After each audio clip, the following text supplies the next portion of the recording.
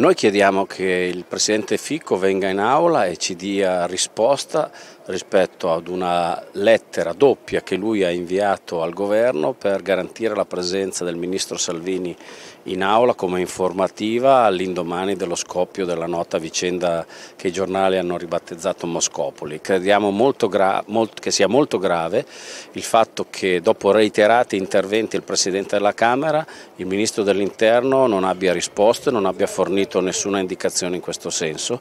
Stiamo creando un pericoloso precedente perché in assenza di regolamento è la prassi a determinare come si regolamenta questo tipo di situazioni.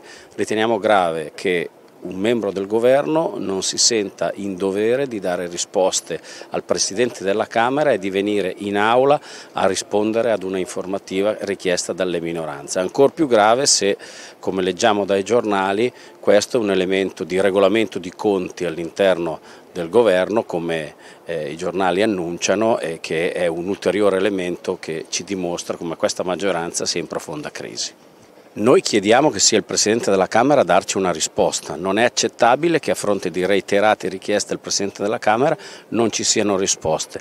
Se non ci sono risposte però noi cambieremo il nostro atteggiamento perché ci sarà una risposta proporzionale alla gravità del fatto nell'ambito della discussione in atto sul decreto sicurezza. Non possiamo immaginare che tutto prosegua come se nulla fosse. La conversione di questo decreto è una conversione complessa e noi metteremo in campo una serie di misure proporzionate allo sfregio che il Ministro dell'Interno ha fatto.